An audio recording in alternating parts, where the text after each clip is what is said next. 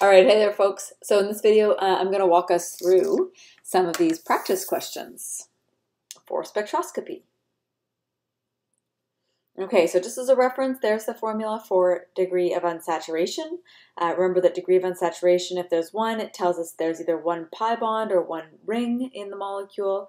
Uh, two degrees of unsaturation could be two pi bonds or two rings, or it could be a combination of one pi and one ring, uh, and so on and so forth.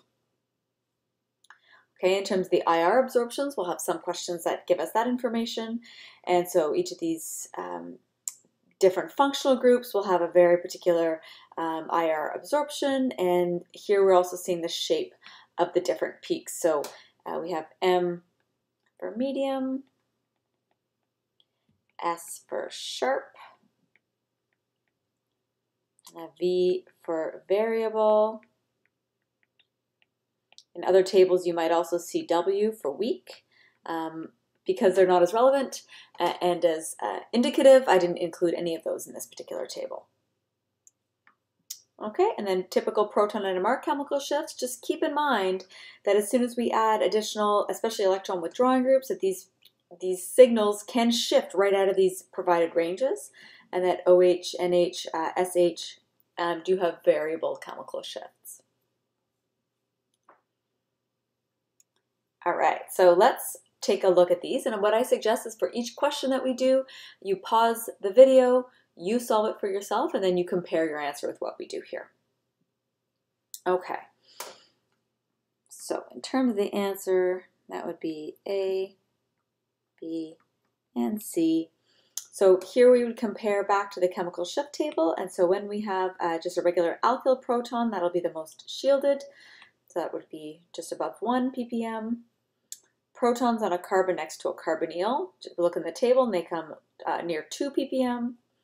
Then protons on a carbon next to an oxygen, particularly ones that are on an, an ester oxygen involved in resonance, um, come around 3.5, 3.6 ppm. They can even come as high as uh, just over 2, uh, just over 4 ppm. All right, so this question number two, uh, question. So how many protons are expected? So what I recommend you do here is you draw this out.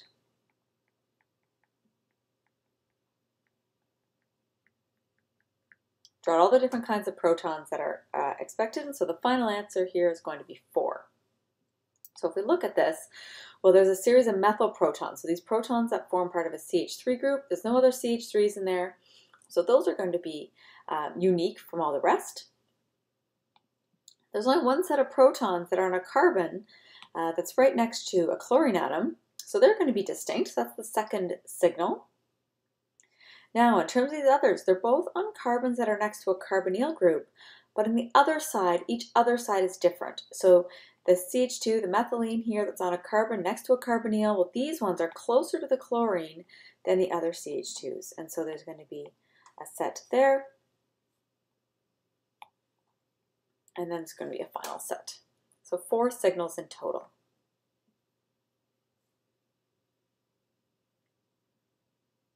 Okay, so what you're looking at in this particular uh, example here is a, is a problem-solving method for identifying an unknown compound. So say we're in the situation, shrink that a bit, say we're in the situation where we're given the chemical formula, and we need to figure out, based on the uh, NMR spectrum, the proton NMR spectrum, uh, what molecule is represented by this formula, what sample was put into that spectrometer. So we start by determining the degree of unsaturation from the formula. Have 2 times the number of carbons, plus 2, plus the number of nitrogens, minus the number of hydrogens, minus the number of halogens. We ignore oxygen and sulfur, all divided by 2. So I see 4 plus 2 is 6, minus 6. Overall, a degree of unsaturation of 0. That tells us there's no pi bonds, there's no rings.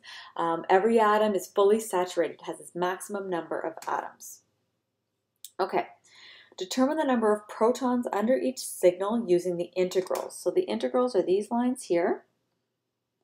They measure the area under the peak and they tell us the relative proportion of protons that are under each signal. So what we do there is we literally, with a ruler, measure the heights of each of those. So the one that I measured, I had uh, one centimeter. This one was two centimeters. And then this one is three centimeters. We add all that up, so it's six centimeters total. I know that there are six hydrogens in the formula, and that tells me that there's, for every one centimeter of integral, there's going to be one hydrogen atom. So that tells me that under this first signal, that's one centimeter in height, that signal is represented by one hydrogen, one proton. A second one, two H's, and three H's. Now it happens that the numbers match, but these, these integrals are going to give us a ratio, and so you do have to compare to the number of protons in the formula just to double check, because it could alternatively um, have been 2 centimeters, 4 centimeters, and 6 centimeters, but the number of protons underneath the signal would not have changed. Okay, our next step then, let's get rid of some of the mess here. Our next step is to analyze the multiplicity we're going to get to that in a second, so we're actually going to leave that one for now. Next one, we're going to use chemical shifts as clues to put the pieces together, and then we're actually going to put it together. All right. So this is where I'm going to copy some of this information all over. So chemical shift of signal A is around, I don't know, 4.8. This is, can be an estimate. Uh, B is about 3.6 and uh, maybe 1.1 integration of 1h, 2 h's, 3 h's. Multiplicity we're ignoring for now. Okay, so when we have, this is where we're going to brainstorm. We're not going to worry about being wrong. We're going to write down all our ideas and then we're going to cross-check it with the data. Okay, so if we have an integration of 1h, that can be uh, a CH, could be an OH, could be an NH. Now this particular case, NH doesn't make sense because there's no nitrogen atoms in the formula. We can right away eliminate that, but we're not sure if it's CH or OH. Now, two H's, so now I'm down in the with signal B, well that could be two times CH groups, be two times two OH groups that are chemically equivalent to each other, um, or it could be a CH2. And it could be an NH2, but we already know there's no N. All right. I'm going to pause on that one for a second. And the 3H1, so now I'm down at signal C. That could be um, three CH groups that are all chemically equivalent to each other. Uh, it could be a CH and a CH2, but to have a CH and a CH2 that are chemically equivalent, mm, not so possible.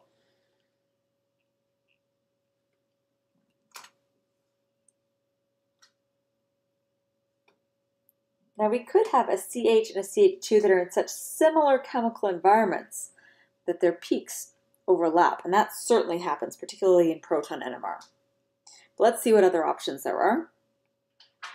It could also be a CH3 group. Now, knowing that we only have two protons in this entire molecule, uh, excuse me, knowing that we only have two carbons in this entire molecule, let's go with the simplest option possible. So that would be going with a CH3 for the bottom one, CH2 for the middle. We're already out of carbon atoms, we only have two to work with, so it must be an OH then for signal A. So now it is time to put the pieces together. Let's draw the pieces that we have. These lines that I'm drawing indicate where there's room in that atom's valence to have another attachment have an OH. Okay. So let's stick those pieces together. Double check that you have the right number of atoms in the formula. So two carbon atoms, six hydrogen atoms, one oxygen atom. We have all the atoms accounted for. Perfect. We're going to move these around and try to make a molecule. Now, if I directly try to just connect the CH3 and the OH, there'd be no other room to then put the CH2 in there. So that can't be the way to do this. Okay, the only real way is to put that CH2 group in the middle.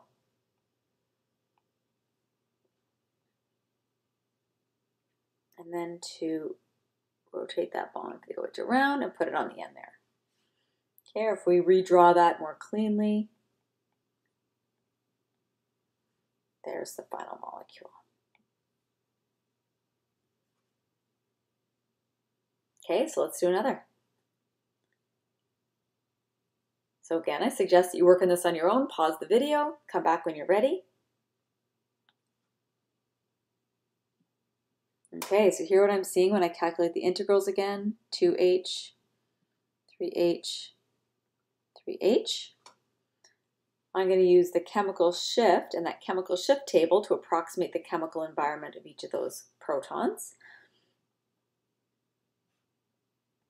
I'll just copy over that information before we go on.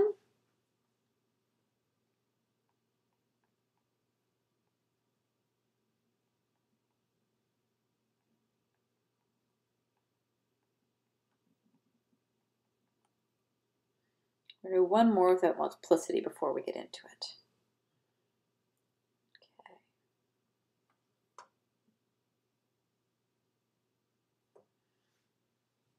Okay. Okay, so again, let's go with the simplest um, ideas possible here. So for example, this A could be two OHs or two CHs or CH2.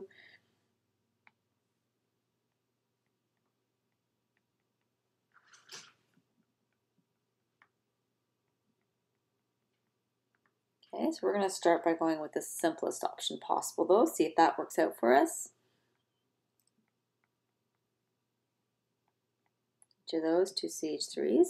Ah, hopefully you've caught that I missed one of the uh, first things that we should do actually, calculate the degree of unsaturation. Degree of unsaturation for this molecule is, so 2 times the number of carbons plus 2 minus 8 all divided by 2, so it is 1, I believe. So that tells us there's a pi bond or a ring in the molecule. Okay, let's look at what we have so far in terms of these different pieces that we can put together. So we have a CH2, we have a CH3, we have another CH3, differentiate those protons.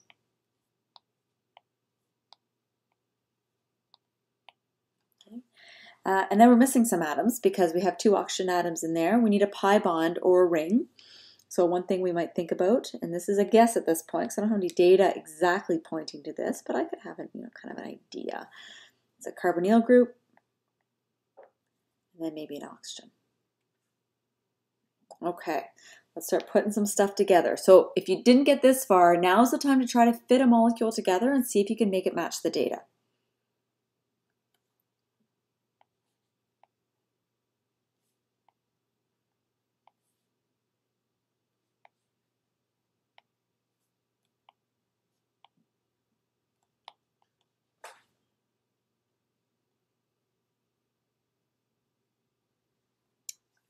Okay, so I've just kind of without thinking too much about it, I've stuck those different fragments together. Now I'm going to imagine that I'm not looking at the actual data right now, and I'm just going to use do my own prediction using the chemical shift table of where I expect to find each of these proton chemical shifts. So for example, this pink one at the far left, uh, excuse me, at the far right, I would expect to be around 4 parts per million. Those are protons on a carbon next to an oxygen that's part of an ester. So something around 4. That's a problem because that proton's around 2. Okay, I'd expect these yellow protons, uh, because they're next to a carbonyl and an alkyl group, to be around 2 ppm. And again, there's a mismatch because I know that those protons are around 4. Uh, and then I expect these gray alkyl protons to be somewhere around 1. And that one's okay. So we're good, but we have two problems. So what that tells me is that I put the molecule together incorrectly. So I need to switch some things up.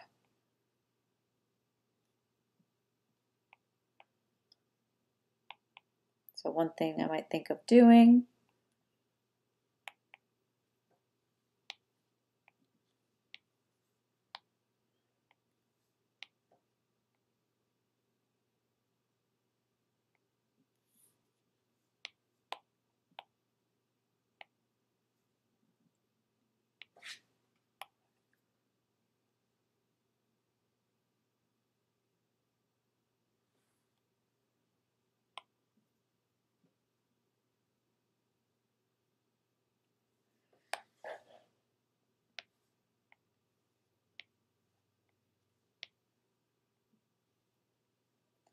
All right, so now I've got uh, protons A, if I make a prediction about where they should be, so they should be about 4 point, around 4, being next to an oxygen. And that is in fact where we see them, great.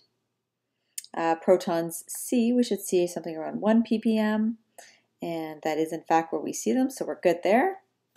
And proton B, uh, we should see, you know, they're next to a carbonyl, they should be somewhere around 2 ppm. That is, in fact, where we see protons B, and so that works there too. So we've made the fragments, we've put the fragments together. The first way did not match the given data, rearrange the fragments, double check with the data, and that time it did work. So there's the molecule.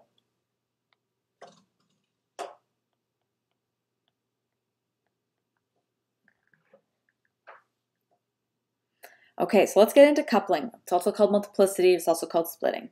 Okay, there's a there's a theory video on this. We're going to get into the practical parts here.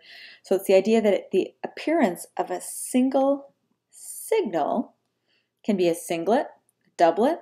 This one I've squared as a triplet. Uh, it can be as another triplet, it can be a quartet, it can be a multiplet, okay, etc. And what that tells us is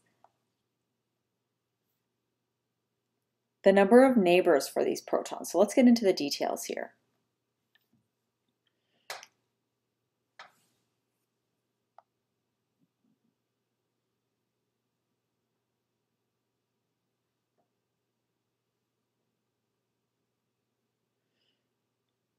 Okay, so the number of peaks actually gives us information about the number of equivalent neighbors, number of non-equivalent neighbors. So number of peaks is given by the formula n plus 1 or n, is the number of protons neighboring the one we're looking at that are non-equivalent. Number of non-equivalent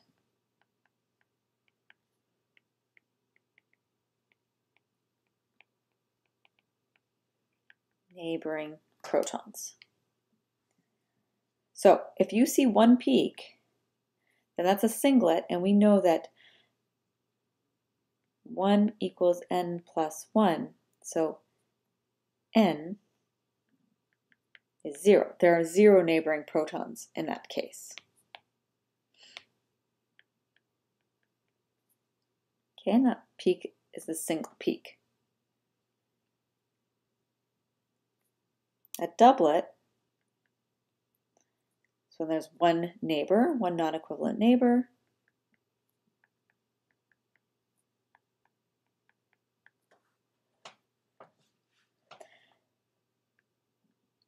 So a doublet looks like two lines side by side. A triplet has three lines, and the relative intensity of the peaks is 1 to 2 to 1.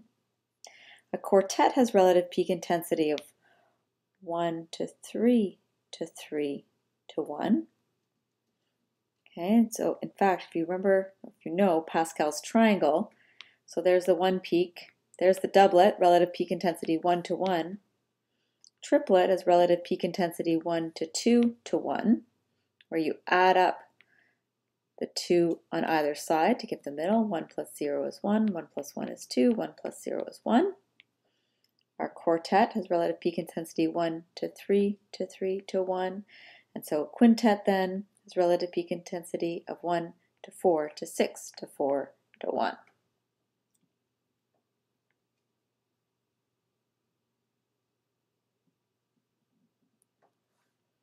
And so on. You can take a look at that video on the theory of coupling to, to see exactly the reasons why. Okay, so keeping in mind that the number of peaks in a multiplet follow what's called an n plus 1 rule. I think with the n plus 1 rules that it's not really a rule, it's just a simplification of a much bigger kind of concept that I've explained a little bit in the in the videos, but if, if you if you take a more advanced NMR course, you'd see much better details about this. So, getting into the specifics here now. If we look, for example, at signal D, signal D is a triplet, which we'd represent by a T. So that means it's three peaks, and we know that we can figure out the number of non-equivalent neighbors for it by that n plus 1 rule. So the number of non-equivalent neighbors should be 2. If we look at the actual molecule, these protons D are next to the protons C, which are not the same as it. D is next to a nitrile group, whereas C is next to an ethyl group. So these are different CH2 protons. So D essentially sees, feels the magnetic field of its neighbors, proton C, and those two proton neighbors cause D to be a triplet. Two neighbors, n equals 2, n plus 1 makes the triplet.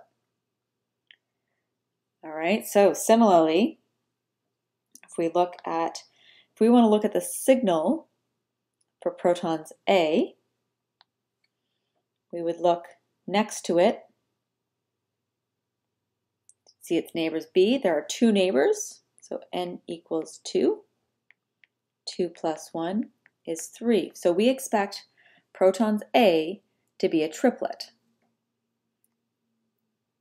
And in fact, that's exactly what we see. So proton, the signal for protons A, which are the most shielded of all the signals here, they're represented by a triplet. And they also integrate. These numbers down here represent the integrals, the integration. Okay, notice it also integrates for about 3.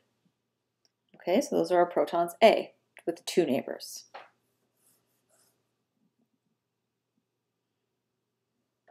Okay. Next one's protons B.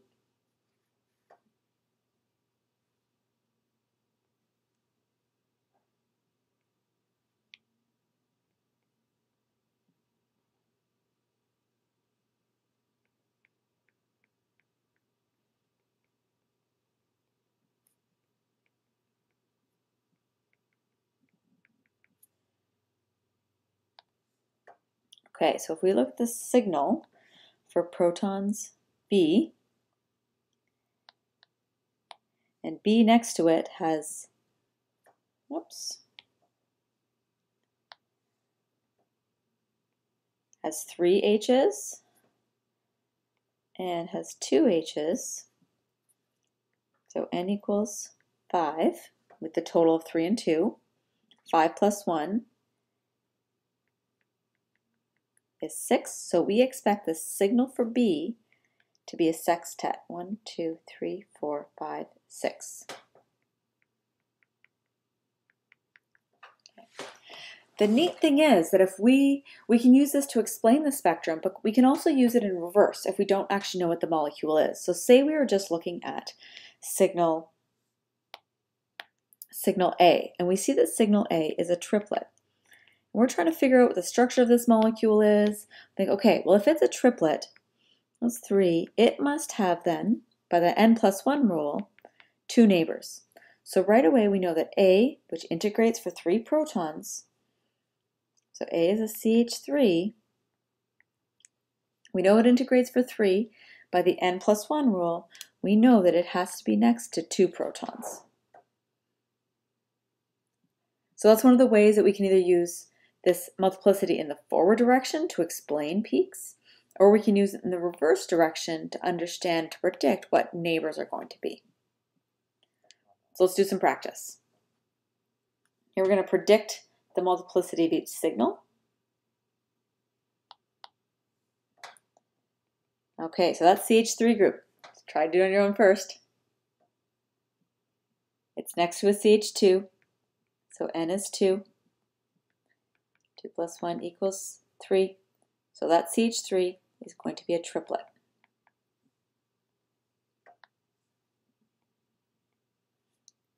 Okay, for the CH2, n equals 3. 3 plus 1 equals 4. So that CH2 is going to be a quartet.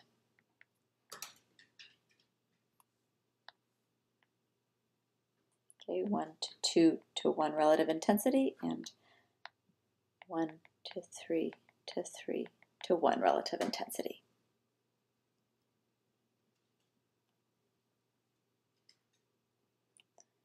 Okay, a little new thing that I've introduced here.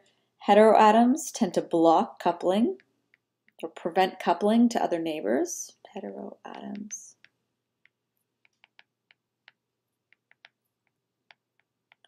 And that's in the most simplistic of NMR kind of experiments. We can actually do far more advanced NMR experiments that, that do show coupling past heteroatoms. But in the simple NMR experiments, we don't see the coupling. And so the, that means that this CH2 group, because there's an O blocking on the left and no protons on the right, that CH2 group is going to have zero neighbors. Zero plus one is one, and so that peak is going to be a singlet. We would see a single peak for that CH2 that integrates for two H's.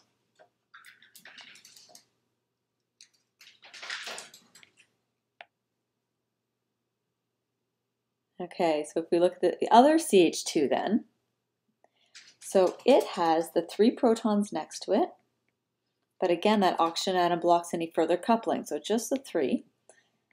Three plus one is four, and so it's going to be a quartet, one to three to three to one relative peak intensity, and it's going to integrate also for 2H. So in that spectrum, we would have a quartet that integrates for two protons, and we would have a singlet that integrates for two protons.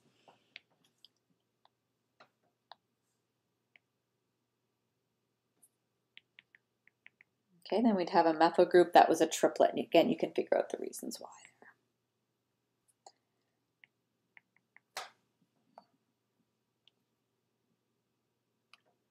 Okay.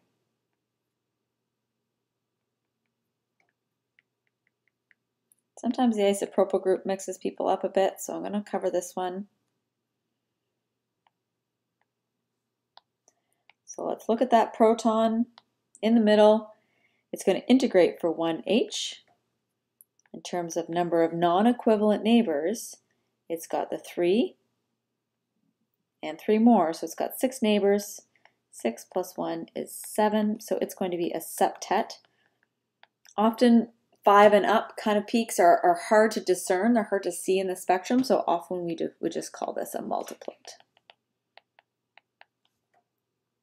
Okay, so it'd be a little tiny peak with lots of bumps to it. Okay, so then let's look. Now these protons, the two methyl protons, are chemically equivalent to each other. They're both on a carbon next to a CH, so they would be the same, they would come at the, the same chemical shift. They would integrate in total for six H's, so the integral line would integrate for six H's. In terms of non number of non-equivalent neighbors, they have that one proton, so n equals 1. 1 plus 1 is 2, so that signal is going to be a doublet. So we'd have a pretty big doublet that integrates for 6 protons.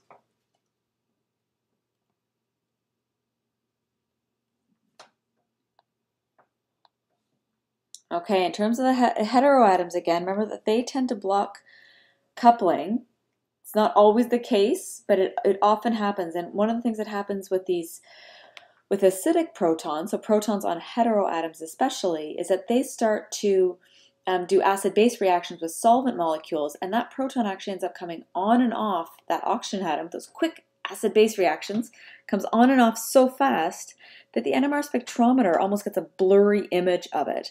And so it can it can either detect it or it detects it kind of as a rounded peak because it has all these variable chemical shifts. Sometimes with the proton really boundly, really tightly bound to the oxygen, sometimes with a longer bond, sometimes really even longer. That all gives different chemical shifts. But it also means that the coupling that can be detected with the, the other protons is either not, not seen or, or barely detectable. So often what that means is that it essentially has zero neighbors and so it shows up as a singlet. And because of all that exchange with the solvent and all these kind of very slightly variable uh, bond lengths and chemical environments, it's often going to be a broad singlet. So it'll look kind of like that. And it'll integrate for 1H or sometimes even less than 1H. One proton if some of those are exchanging so fast with the solvent that it's hard to even detect. Okay, the CH2 is going to integrate for two hydrogens in terms of number of neighbors. Probably again won't see the coupling with the acidic proton, so probably would just have n equals 3. 3 plus 1 is 4, so we'd expect that to be a quartet that integrates for two protons. And then the last one integrates for three H's because there's three chemically equivalent protons. Number of non-equivalent neighbors is 2 plus 1 is 3, so we expect that to be a triplet that integrates for 3 protons.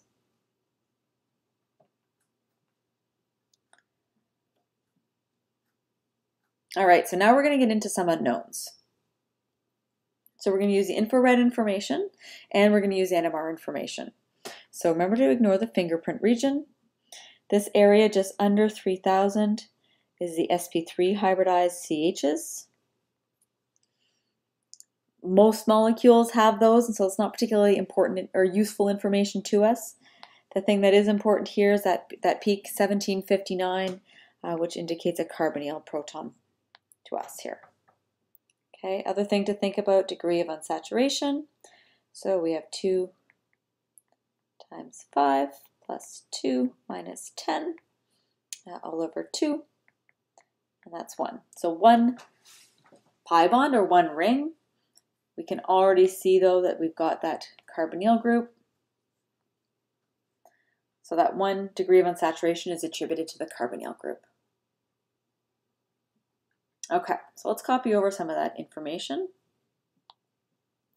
Um, you can use uh, you can use the instructions on how to calculate integrals to figure out the ratios here. I'm just going to fill it right in. Pause at any time, try to figure this out on your own. It's way better for you to try first, figure out where you get stuck, and then see the answer.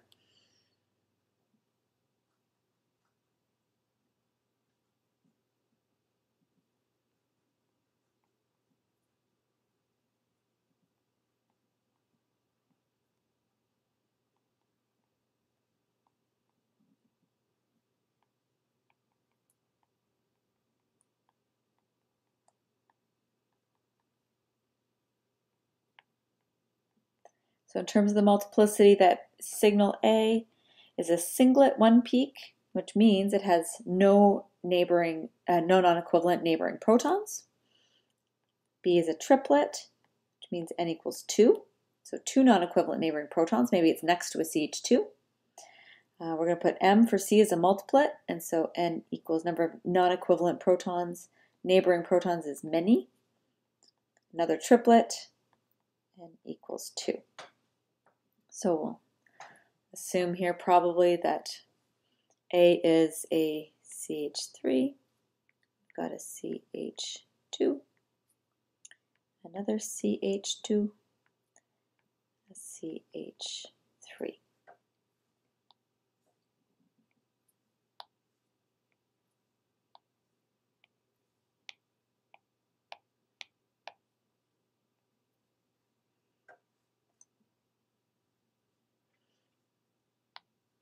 Okay, we need to remember that we have that carbonyl group as identified by the infrared spectrum. And we want to double check at this point that we have all the atoms accounted for. So, so far we've accounted for one, two, three, four, and five carbon atoms. That's everything for carbon. All the protons, all 10 protons are accounted for. We've only accounted though for one out of the two oxygen atoms. So somewhere in there, there's another oxygen atom. Okay, so let's try pick, fitting those pieces together. So maybe it's an ester, pretty common functional group. You might have tried something different to start.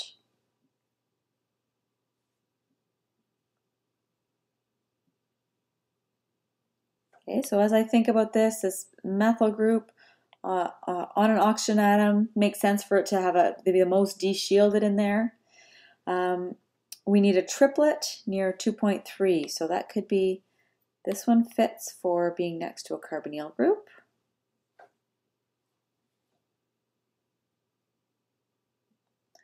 In order to be a, a, triplet with n equals 2, it needs to be next to a CH2. So it would make sense then to put it next to this one.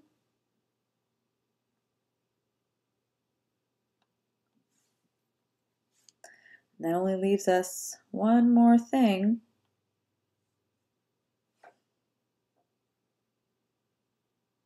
Okay, let's put that in there. Okay, so let's double check with the data before we decide that this is the right answer. All right, so that first methyl that I've highlighted in yellow here, hopefully it's going to be signal A. It should be a singlet. And that makes sense. It's next to an oxygen atom, so there's no non-equivalent proton neighbors. Fine, so that's a sing singlet with no non-equivalent neighbors. Great, chemical shift, we already said fit, so that one works. We know there's a carbonyl that was based on the IR data. The ox other oxygen came from the formula. CH2, which we hope is B, it has two non-equivalent proton neighbors, so 2 plus 1 is 3 is a triplet. Triplet, so that fits. Chemical shift fits at about just over 2. C now, so it has 2 and 3, so 5, n equals 5.